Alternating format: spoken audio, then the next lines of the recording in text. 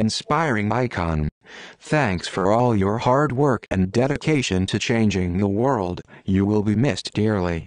My condolences to his family. Rest in peace, my friend. Fabrizzio.